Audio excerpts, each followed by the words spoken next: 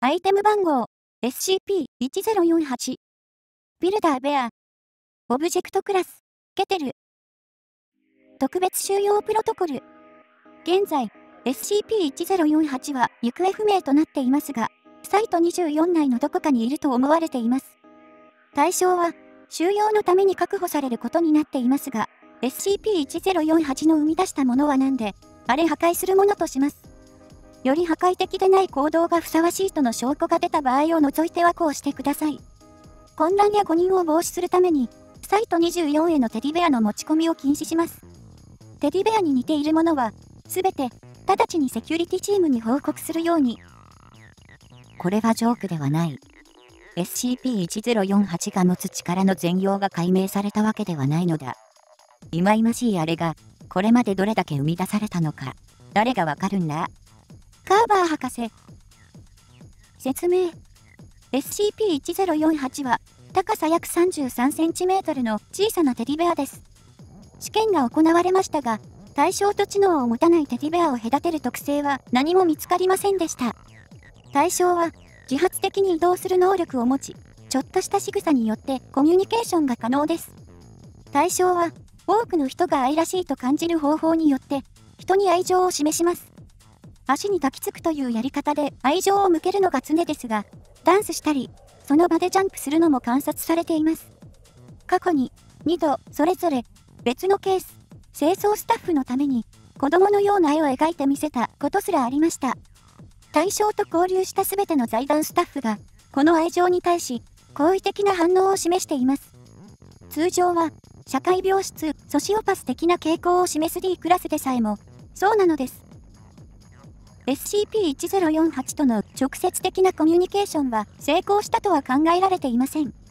簡単な仕草で、イエスかノーの返答ができますが、自身の性質やどこから来たのかといった質問に関しては、しばしば反応を示しません。SCP-1048 が答えを知らないか、それとも答えたくないかは不明です。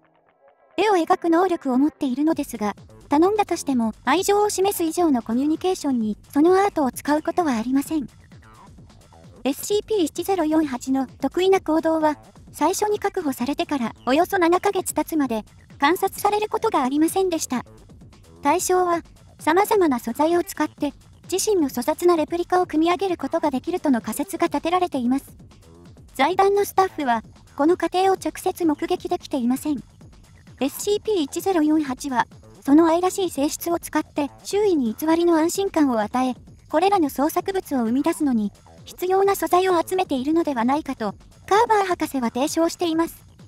今のところ、3種類の創作物、SCP-1048A、SCP-1048B、SCP-1048C が存在しています。これら創作物の性質は、SCP-1048 の普段の態度とは、正反対に人間に対して極めて暴力的です。SCP-1048A 年月日 SCP-1048A は SCP-1048 とともにサイト24をさまよっているところを発見されました。対象は SCP-1048 と似たサイズ、形のテディベアでしたが、全身が人間の耳で作られていました。目撃者は SCP-1048 が SCP-1048A にサイト24の見学をさせているようだったと報告しています。カーバー博士とセキュリティチームが呼び出されました。セキュリティチームが先に到着し、SCP-1048A を収容しようとしました。対象は、甲高い金切り声を上げ、半径10メートル以内にいた者の目と耳に、激しい痛みを与えました。対象から5メートル以内にいた者の身体に、耳のような腫瘍が成長し始め、20秒足らずで全身を覆いました。この症状に侵された船員が3分以内に死亡し、セキュリティチームの全員を含む、メイが死亡しました。検視により、すべての死亡者の死因は、口と気管が耳のような腫瘍に覆われたことによる窒息であると判明しています。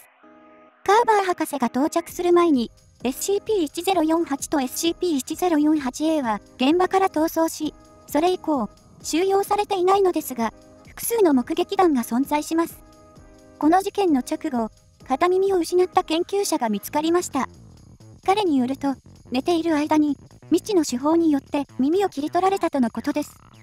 耳を失った他の犠牲者が見つからないことから、SCP-1048 が、どこから他の耳を入手したのか、あるいは、物質や素材を複製する力があるのかは不明です。SCP-1048B 年月日サイト24のカフェテリアで複数の財団スタッフが対象を発見しました。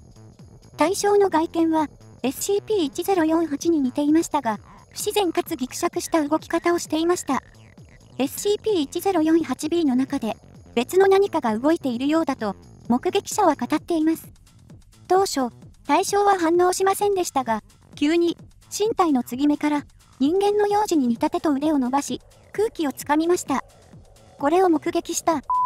という名前の女性研究者が悲鳴を上げると、SCP-1048B は、幼児に似た甲高い鳴き声を上げることで反応しました。対象は、悲鳴を上げている研究者をデータ削除しようとし、内部に大きな損傷を与えました。混乱の中で、セキュリティチームは、研究者と SCP-1048B を削除済みすることを余儀なくされました。この事件からおよそ3時間後、博士がオフィスで意識不明となり出血しているのが発見されました。睡眠中に博士の中絶処置が行われており、8ヶ月になる胎児が消えたのです。SCP-1048B を生み出すために、SCP-1048 が博士のまだ生まれていない子供を使ったのだという仮説が立てられています。SCP-1048B の素材に関する情報は、セラピーを受けている生存者たちに明かされることはありません。そんなことをしたら、回復に強い害があると、カーバー博士が信じているからです。SCP-1048C 対象は SCP-1048 に似たテディベアのようですが、錆びた金属のスクラップで構成されています。最初に対象を発見したのは、カーバー博士です。博士は、SCP-1048B 事件に関する報告書をオフィスで書いているところでした。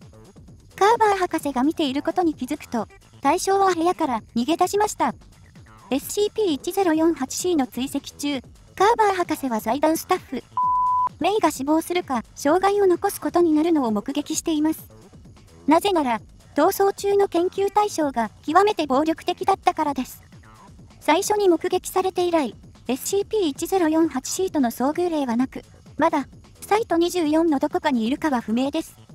SCP-1048 が SCP-1048C を作るのに使った可能性がある素材の出所についてもまた、現時点で不明です。ホイ10481 SCP-2295 は SCP-1048 と類似していますが、その機能はほぼ対極です。共通の起源を突き止める試みが進行中です。SCP-1048A、SCP-1048C との遭遇の際は、細心の注意を払ってください。どれだけ危険なのか十分に強調することができない。忌々しいあれはジャンプして、かわいそうな連中の身体を突き抜けていったんだ。カーバー博士、